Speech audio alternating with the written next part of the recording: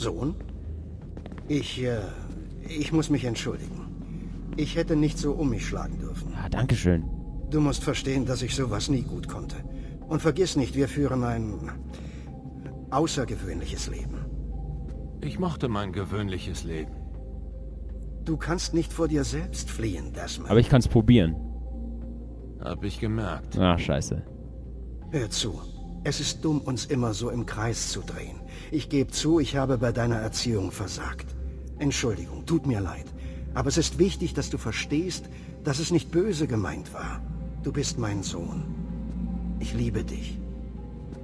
Ich war zu sehr damit beschäftigt, aufzupassen, dass nichts Schlimmes passiert. Ich habe nicht darüber nachgedacht. Frieden? Shake hands. Ich kann nicht glauben, dass ich erst jetzt danach frage, aber wie geht's Mom? Ist sie... Nein, nein, nein, deiner Mutter geht es gut. Wir dachten, es wäre sicherer, uns für diesen Job zu trennen. Du gehst immer vom Schlimmsten aus. Hm. Aus gutem Grund. Kann ich ihr wenigstens Hallo sagen? Tut mir leid, zu riskant. Vielleicht, wenn wir fertig sind. Gut. Wenn wir fertig sind. Ist ja schon mal ein Anfang. So. Können wir ihn von der Klippe stoßen? Okay, können wir nicht. Schade. Den Versuch war es wert. So. Energiequelle. Oh, Desmond, da bist du ja. Tust du mir einen Gefallen? Wenn es sein muss. Vielleicht? Wenn das vorbei ist, würde ich gern das Rad im Animus zurückdrehen. Also ganz zurückdrehen. Bis zur Zeit der ersten Zivilisation. Du glaubst, das geht? Es gab auch keine echten Probleme, als du Altair besucht hast. Allerdings waren das nur circa 1000 Jahre und ich habe vor, mindestens 70.000 zurückzugehen. Klar, ich wäre dabei. Wäre interessant zu sehen, wie es damals so aussah. Exzellent. Ich glaube, das wäre sehr aufschlussreich. Das wird nix. Und so fing also alles an. Was machst du denn da? Ich frische meine Geschichtskenntnisse auf. Naja, so nennen sie es. Die bringen einem komische Sachen bei in den Staaten. Zum Beispiel? Na, all das Gerede über einen Revolutionskrieg. Dabei war es ein Bürgerkrieg. Naja, nicht so ein Bürgerkrieg. Ich meine, es war nicht Amerika gegen England. Es war Brite gegen Brite. Und man kann deutlich erkennen, wie das alles anfing. Ein Krieg verursachte den nächsten. Du meinst den Siebenjährigen Krieg? Genau. Die Krone hatte sich verausgabt, um die Franzosen abzuwehren, hatte sich enorm verschuldet dabei. Im Glauben, dass die Kolonisten helfen sollten, die Last zu tragen, wurden neue Steuern erhoben. Das war eine vernünftige Forderung, auch wenn das Parlament dabei nicht sehr äh, diplomatisch vorging. Es ist doch nicht fair, Menschen für einen Krieg zu besteuern, den sie nicht wollten. Was? Den sie nicht wollten? Hast du George Washington nicht bei Edward Braddock bemerkt? Er steckte da doch mittendrin. Also hier gibt die Krone wer weiß wie viel Geld aus, um das Land für die Kolonisten zu schützen. Und wenn sie dann selbst um Hilfe bittet? Also, du musst das so sehen. King George und die Kolonisten gehen zusammen essen, klar? Und als die Rechnung kommt, bittet George sie, sich zu beteiligen. Ist ja fair. Aber bedenke, dass sie ihr Essen jahrzehntelang gratis bekamen. Die Kolonisten sagen nein. Sie bestehen darauf, dass sie nur Wasser und einen kleinen Salat hatten. Dabei ist der Tisch voll mit halb gegessenem und leeren Weinflaschen. Und als der König darauf hinweist, was tun sie da, die Kolonisten? Oh, sie kippen den Tisch um und stürmen aus dem Restaurant.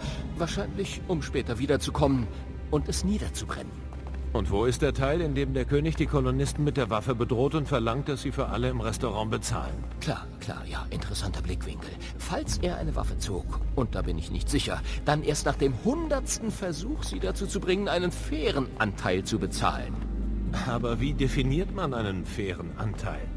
Mit Krieg offensichtlich. Okay, können wir noch was? Das ist gerade interessant. Ich frage mich, wie viele Orte wie diesen es noch gibt. Es gibt Dutzende davon, in der ganzen Welt. Und irgendwie hat vor uns nie jemand einen gefunden? Ich glaube, das stimmt nicht. Ach? Damals bei Abstergo sprach Vedic davon, Entdeckungen von Nicht-Templern zu vertuschen. Und sicher hat Abstergo selbst einige gefunden. Was die alles wissen müssen. Bereust du, dass du bei uns bist? Nein, ich freue mich darauf, den Bastarden in den Arsch zu treten, damit ich in ihr Archiv abtauchen kann. Können wir noch mehr? Geht's oh, noch weiter? Ich glaube, ich habe eine Spur zu einer anderen Energiequelle gefunden. Später, Desmond. Ich stecke Ach hier so, mitten okay. in was Wichtigem drin. Ja, das ist eine Regel. Befolge diese Regel einfach immer. Okay. So, wir können schön quatschen. Können wir mit dir eigentlich noch was quatschen? Haben, Haben wir je versucht, Frieden mit den Templern zu schließen? In unserer Geschichte gab es solche Momente. Einige sogar. Aber es ist unmöglich. Es gibt existenzielle Unterschiede. Unüberwindbare. Gäbe es eine Einigung, wäre es weniger ein Frieden als eine Unterwerfung. Aber im Wissen, was passieren wird, würde es nicht Sinn machen, mit Widdig zu reden? Eine Übereinkunft, auch wenn sie nur vorübergehend wäre? Wir wären so beschäftigt, uns zu belauern, dass wir nichts erreichen würden. Stell dir das vor. Im Krieg sind wir produktiver. Haben wir je versucht, jemand einzuschlossen? Dasselbe, was Sie bei uns mit Lucy machten? Oder mit Cross? Haben wir. Und das klappte nie. Wir schickten Leute, die entweder zu schwach waren und umgedreht wurden, oder zu stark und das Spiel nicht durchhielten. Es kommt mir vor, als würden wir dasselbe wollen. Wir benutzen dieselben Worte, aber mehr ist es auch nicht. Am Ende geht es immer um die Freiheit. Wir suchen sie, die hassen sie. Und so kann der Kampf niemals enden. Nicht bis eine Seite komplett verschwunden ist. Ist das überhaupt möglich? Wahrscheinlich nicht. Unsere Gruppen bestehen in der einen oder anderen Form seit... naja, seit immer. Aber es kann besser werden als jetzt. Und das ist schon mal was. Nochmal, Hast mehr du mich reden. gesucht, Dad? Als ich fortlief? Wir sind weggelaufen. Jeden Tag. Ach komm. Nein, im Ernst. Jede Nacht suchte ich, suchte ich nach deinem Namen oder Variationen davon. Hoffte, du tauchst auf. Abstergo fand ich nur zuerst, weil sie bessere Verbindungen haben. Ein paar Tage mehr und ich wäre es gewesen. Tja, jetzt bin ich hier. Das freut mich. Kam mir ja sehr ehrlich rüber, ey. Glaubst du, Lucy hat bereut, was sie getan hat? Ich dachte immer, ich kenne sie gut, aber das war wohl nicht der Fall. Ich kann dir einfach nicht ehrlich antworten. Aber sie schien so aufrichtig. Als ob sie wirklich einen Unterschied machen wollte. Ja, als ich ihn das erste Mal traf, dachte ich dasselbe von Cross. Es passiert einfach immer und immer wieder. Was passiert? Na alles. Dreh mir jetzt bloß nicht durch, Desmond. Nein, schon gut. Schon gut. Keine Sorge. Okay, also du solltest vielleicht zurück in den Animus. Wir müssen den Schlüssel finden. Alles klar. Es ist blöd, also egal was gerade geredet wurde, ich Wir habe sollten wohl zu Connor zurück. keine Ahnung von den anderen Teilen. Deswegen weiß ich auch nicht, wusste nicht ganz genau, was, äh, um was es da ging. Assassin's Creed 3 ist halt das erste, was ich hiervon spiele. Liebige Taste, ja, komm. Na los, Sohn, wir haben zu tun. Ach so, ich muss dahin in den Animus, okay. Können wir noch was reden? Ich weiß, ihr haltet mich für bescheuert. Aber ich habe den Eindruck, dass uns jemand beobachtet. Nö, kann sein. Wir werden beobachtet. Von Juno. Oder einer Form von mir. Glaubst du, es sind Aufnahmen? Oder ist es ein Geist? Oder irgendetwas anderes? Spricht sie mit uns wie Minerva mit Ezio sprach? Keine Ahnung. Wer weiß, woran die hier unten noch gearbeitet haben. Es gibt so viele Räume, die wir noch nicht betreten können. Aber glaubst du, sie ist wirklich da unten? Und wartet, irgendwo, lebendig? Noch am Leben? Das ist lächerlich. Das hieße ja, sie wäre mindestens 75, 80.000 Jahre alt. Die waren mächtig, klar, aber nicht so mächtig. Sie suchten hier nach Wegen, um zu überleben. Vielleicht hatten sie Erfolg. So. War es komisch, Cross zu sehen? Was meinst du? Für dich ist es anders. Du weißt wahrscheinlich nicht, was geschehen ist. Er war sehr lange Zeit sehr wichtig für uns. Er war eine andere Person. Sean sagte, er war ein Doppelagent. Wie Lucy. Es war anders. Sie hatte die Wahl. Aber Cross, wenn du die Akte liest, Abstergo hat... Sie... Sie haben ihm schreckliche Dinge angetan. Rebecca? Du hast Glück. Wie wir alle. Es gibt Menschen, die sich um uns kümmern, die auf uns achten. Er war ganz allein. Und die, denen er vertraute, haben ihn benutzt. Hast du ihn gekannt? Nein, ich kannte nur Hannah. Wer ist das? Sie wollte ihm helfen. Sie traute ihm. Doch letztes Jahr gab es einen Überfall. Sie blieb zurück, während die anderen flohen. Sie wollte mit ihm reden, versuchen, alles in Ordnung zu bringen. Was ist passiert? Was glaubst du, was passiert ist? Sie ist tot, er hat sie getötet. Das ist alles, was er kann. Manchmal scheint es, als sei es das Einzige, was wir alle können. Rebecca? Ist gerade so ein bisschen, ich sag nichts und höre nur Dialoge an, aber muss auch mal sein. Ich wäre im Moment lieber allein. Oh ja, ist ja gut, meine Güte. So, hallo Connor. Viel Glück, Desmond. Ich bin am Start. Dies sind schwierige Zeiten. Die ohnehin brüchige Allianz zwischen der Krone und ihren Untertanen löst sich auf. Und hinter beiden Seiten stecken die Templer und ziehen Fäden. Die Geschichte sagt uns, sie suchen Ordnung durch Kontrolle. Doch wie wollen sie das erreichen? Wer unterstützt sie? Und welche Intrigen wurden bereits gesponnen? All dies muss ich herausfinden. Denn nur wenn ich meinen Feind kenne, kann Connor, ich hoffen, ihn aufzuhalten. hast du einen Moment? Natürlich. Sieh dir das an. Was ist das? Ein Zheng Bao oder Pfeil am Seil, wenn du willst. Eins der vielen Designs, die Shao Yun uns gab. um- Verzeih. Daran müssen wir noch arbeiten.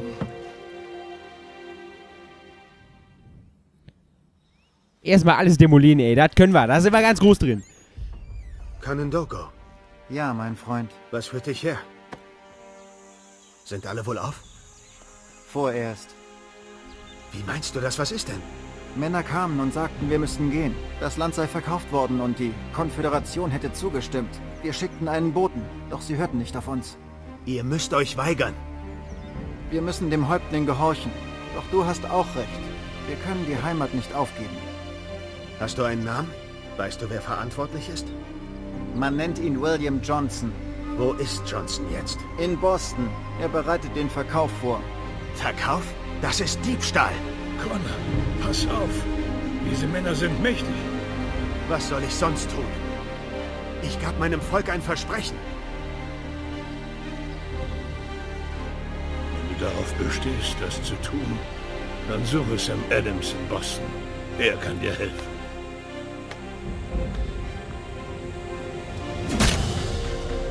Was hast du getan? Wenn mein Volk in den Krieg zieht, wird als Zeichen dafür ein Kriegsbeil in Empfahl getrieben. Ist der Krieg vorbei, wird es wieder entfernt. Warum nimmst du nicht einen Baum? Berechtigste Frage aller Zeiten, ey. So. Mit Hinkebein, okay. Wo ist Hinkebein? Halt, da, da, da, da, da. Okay, jetzt ist dieses Symbol da, jetzt, das will ich jetzt machen. Hallo, jetzt spring da runter. Meine Güte. So, jetzt ist dieses Symbol da, jetzt können wir anscheinend irgendwas machen. Hoffe ich mal. Mal schauen, was es hier so, was es hier so bringt. Oder ist es innen drin? Ist innen drin wahrscheinlich. Es ist. Ne, okay, ist innen drin. Dann schaue ich nochmal rein ins Haus kurz. Wenn du mal bitte runtergehen würdest. Danke. Okay. Bitte einmal rein und danke. So, was gibt's jetzt hier? Und wer bist du? Sag an, Kind, ich bin dabei.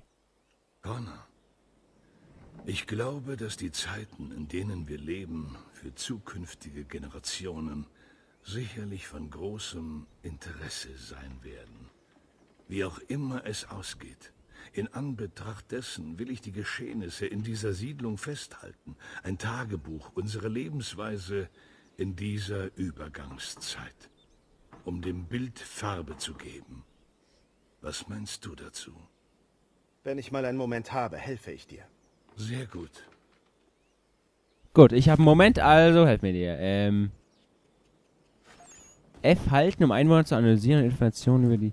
Ah, okay, wir müssen jetzt also diesen komischen Leuten da und F drücken. Probieren wir es doch gleich mal aus, würde ich sagen. Ich könnte jetzt drin ein Spiel spielen, aber ganz ehrlich, ich will, ich habe gewonnen und ich will mir das nicht kaputt machen. Es wäre zu töricht, sich das jetzt einfach kaputt zu machen. Weil ich gehe in die falsche Richtung. Oder? Ich muss doch... Ne, ich muss da hinten lang. Da kommen wir zu der anderen Siedlung. Hoffe ich mal. Warte, Kuh? Okay, nein. Wie gesagt, da stand Kuh heißt Pferd rufen. Sieht mal, wie das funktioniert, ey. Arg, was? Was ist los, ey? Verflucht nochmal. Kannst du mir helfen? Ja, wenn es sein muss. Mission starten, hoppla.